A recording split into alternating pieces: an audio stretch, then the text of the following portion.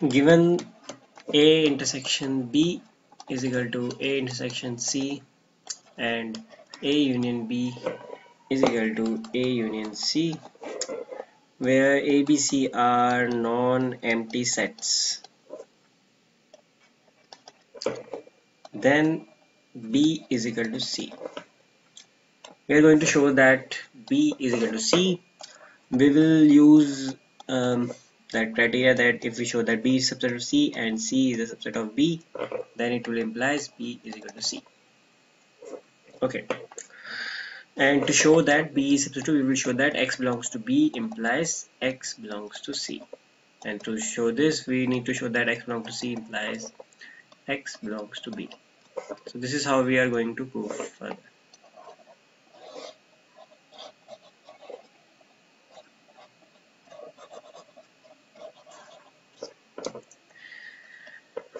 okay. Let x belongs to b. Then x belongs to a or x belongs to a complement. Only two cases are possible.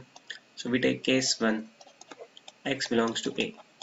X belongs to b x belongs to a. This implies x belongs to a intersection b. And what is the intersection b? Intersection b is equal to a intersection c.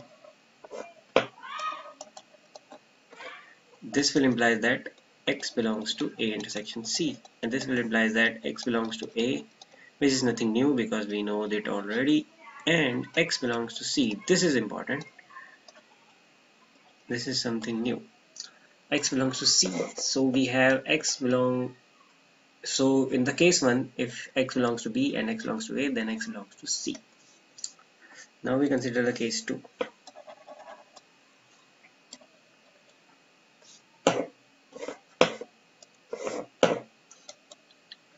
case 2 case 2 says that x belongs to a complement.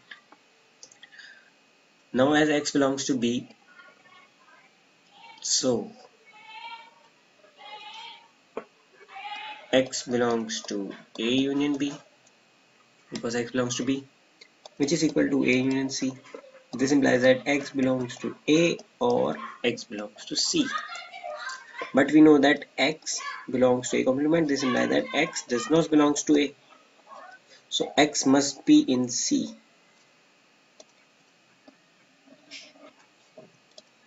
Hence this implies that x belongs to c.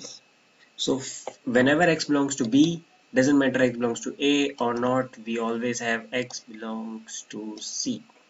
Always always always. Thus this implies that this implies that x belongs to b implies x belongs to c. This implies that b is a subset of c. Similarly we can show that